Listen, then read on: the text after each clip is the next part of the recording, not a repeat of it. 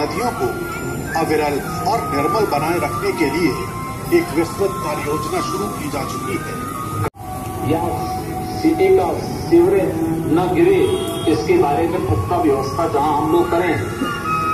सरकार का उद्देश्य है कि श्रद्धालुओं को कुंभ के दौरान उसी गंगा के दर्शन हो सके जिसे सनातन परंपराओं में पतित पावनी मोक्षदायिनी माना गया है। और पुराणों में तो प्रयाग ठीक वैसे ही, जैसे प्रयाग नगरी के बारे में तुलसीदास ने कहा को कही सके प्रयाग प्रभाव, कलश कुंज, कुंजर मृगराव, अस तीरथ पति, देख सुहावा, सुख सागर, रघुबर सुख पावा।